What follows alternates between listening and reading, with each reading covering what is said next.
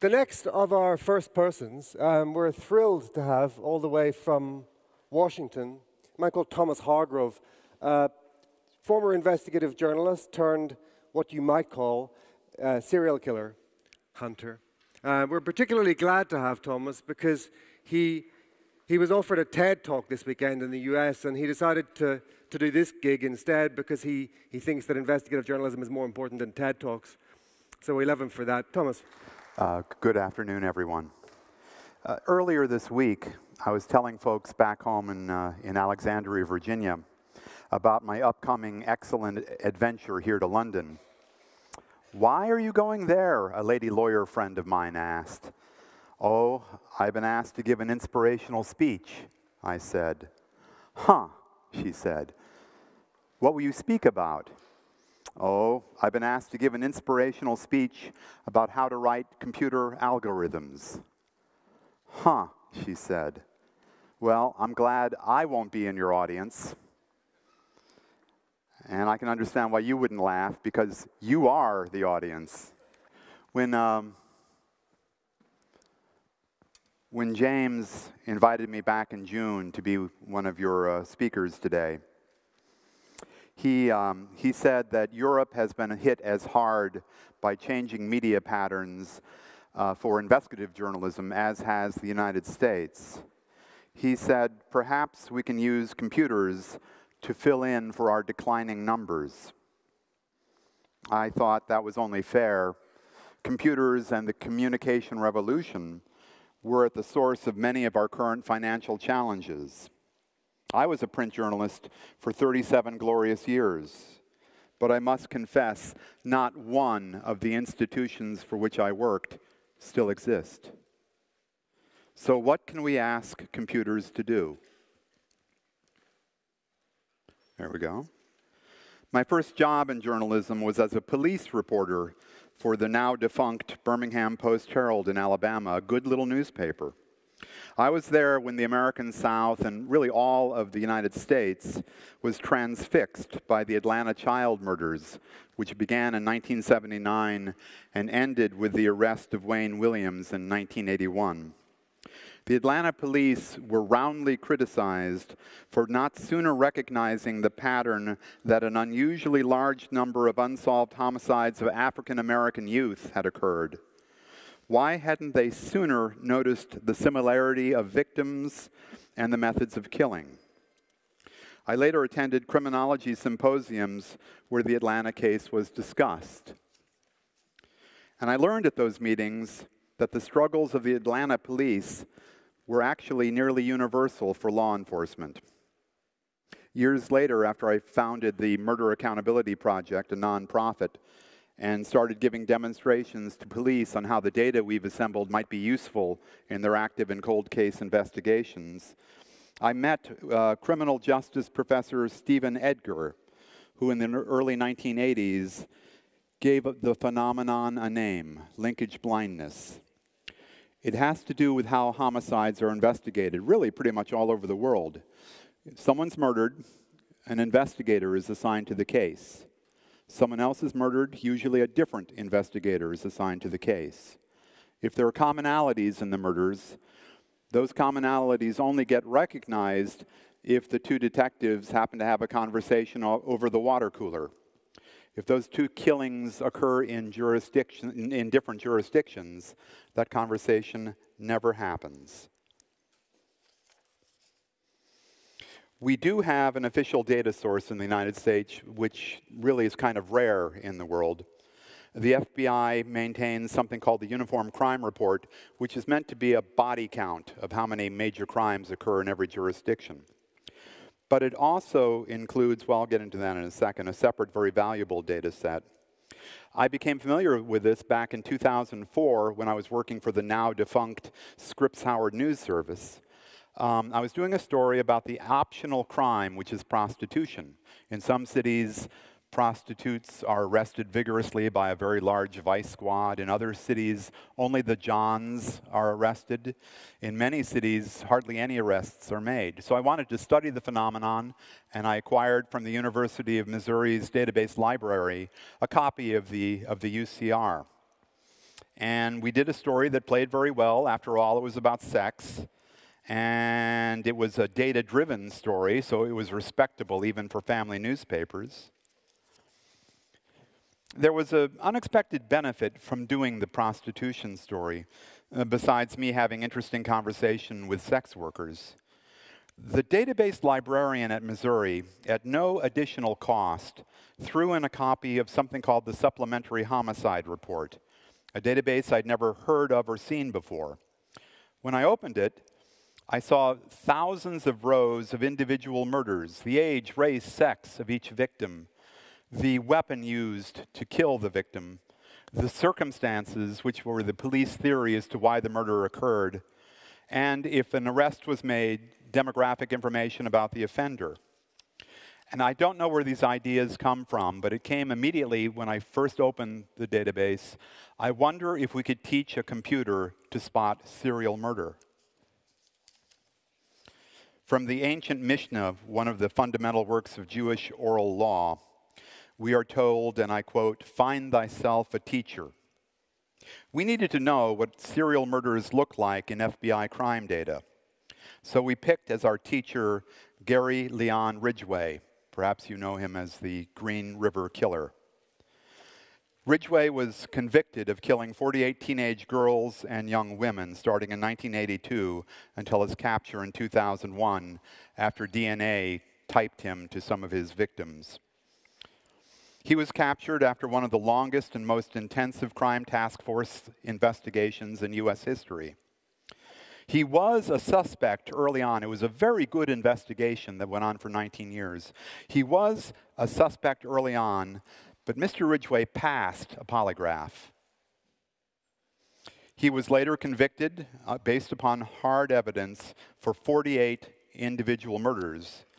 He claimed to have done more than 70, and no one really disputes that, but he was convicted uh, for the, for the uh, recovered remains of 48 women, the largest body count known in U.S. history.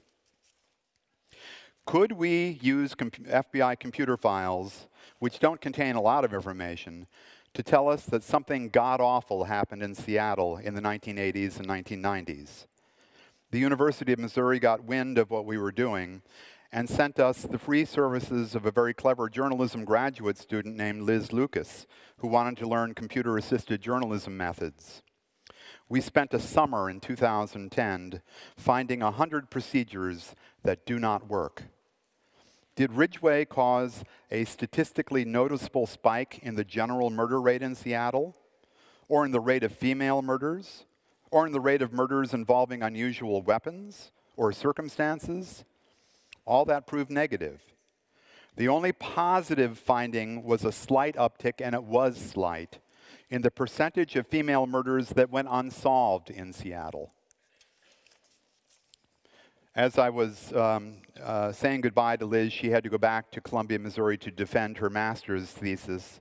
On our last day together, I told her what might work would be to cluster the data into smaller groups, looking for clusters that had a noticeably low clearance rate. After all, Ridgway's victims did have a very slight impact on Seattle's overall clearance rate for female murders.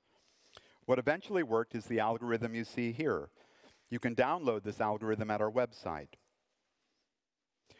We give every murder, and we now have over 790, uh, 769,000 uh, case files.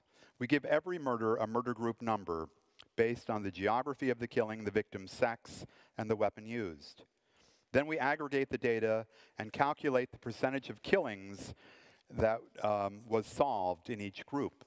So we take uh, way more than half a million murders, we turn them into about 10,000 groups, and we look for those groups that have a very low clearance rate. When we do, when we do this, Ridgway's victims stood out in stark relief among the nation's murders. Because women are usually murdered by intimates, by a husband or a boyfriend, or someone living in the same household, police generally solve 75 to 80% of female murders. But among this particular cluster, only one murder in six was solved because he got away with it. Most of Ridgway's victims were reported to the FBI as having been killed by other or type unknown weapons. That's because he was very adept at hiding his victims, sometimes in the Green River Valley, other times in other locations out of doors. The bodies were exposed to weather, and so coroners had a hard time determining the cause of death. A very bright young man, Washington Post reporter Andrew Tran, earlier this year has created a free online course to teach the statistical program R to journalists. He spent an hour in one of his videos demonstrating how to load R data and how to translate this algorithm into R. Uh, Andrew, by the way, has a piece of two Pulitzer Prizes. Very bright guy. I commend that class to you if you want to learn R. So what do we have here? We've created an algorithm, sure, it's a series of mathematical steps that produces a solution.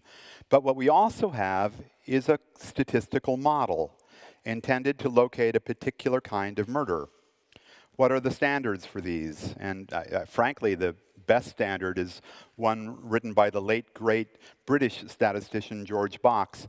This is what he actually wrote in one of his essays, what it usually gets translated as, all models are wrong but some are useful. So, did we develop a useful model? The algorithm we were producing, uh, the algorithm we wrote was producing dozens, even hundreds of suspicious looking clusters. Many clusters that were larger than the Seattle cluster of the world's most dangerous known serial killer. We decided to start testing the algor algorithm results. We took the 10 largest cities that had significant clusters, and we started calling local police. We sent them the, what the database was saying were suspicious and asked, are these um, serial? In most cases, they were known serial killings by men who were arrested. In several cases, though, the police didn't know what we were talking about. In one case, I contacted Youngstown, Ohio Police Captain Rod Foley, a really decent guy who later became chief. And I left a voice me message saying, I'm Tom Hargrove from the, uh, from the uh, Scripps Howard News Service in Washington. We have a statistical technique that might identify serial murder. We think you've had too many rape murders of middle aged African American women in the 1990s. That's quite a message to leave on someone's voicemail.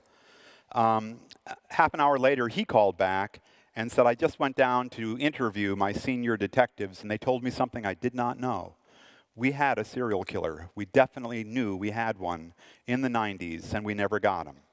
And so we started a new investigation. Unfortunately, all of the rape kits, both at Youngstown and the uh, surrounding jurisdictions, had been thrown out because they might have caught that guy still. We, um, we also had a similar pattern 15 unsolved strangulations of women in Gary, Indiana. And I want to show a rather clever video that Freethink Media did about this. This, you're about to see the actual uh, representation of the, the clusters the algorithm was showing us. We first start with Seattle, and once we got the machine to tell us, yes, something happened in Seattle, those are all the other clusters, some of them much larger than, uh, than uh, Seattle, including Gary, Indiana. And so I, I, tried for months to get the uh, Gary Police Department to concede the possibility they might have a serial killer, or at least to have a conversation, to no luck. Four years later, uh, Hammond Police, next door to Gary, arrest Darren Deon Vann, who admitted that he's been at this for many years, and then took them into downtown Gary and recovered six other um, bodies of victims that nobody knew about, who, all who had been strangled. Um, when the next day after Mr. Vann's arrest had been announced, the Gary Police Department had a, um, had a press conference, and the first question the chief was asked was, Did you know, chief, that you had a serial killer? And his answer was, Absolutely not. We had sent letters, emails, phone calls on a daily basis, registered mail to the police chief and to the chief of police to the um, mayor of Gary, Indiana, and never got a hearing. Police refused to speak to me about the possibility of an active serial killer. And as a result of that experience, we decided, the board of directors of the Murder Accountability Project decided we better not be keepers of secret knowledge. And so if you log into our site and go to the Murder Groups tab, you will see this. And it's not an image, it's not a static image, it's a live interaction with our um, 600 and 796,000 murders. You change the settings, you'll get different results. We don't know if all of these are serial. I will tell you that all of these clusters had breathtakingly low clearance rates. And I will tell you that the most charitable explanation for this is the presence of a serial killer. Also, um, it should be stated that uh, seven women died after I tried to contact Gary authorities.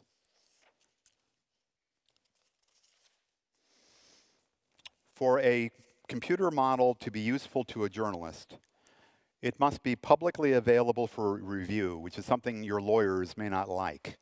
But if you're going to um, take charge of data, process it in entirely new ways, and then make news out of those results, you are, I think, morally obligated, ethically obligated to tell the world what you've done and how you've done it.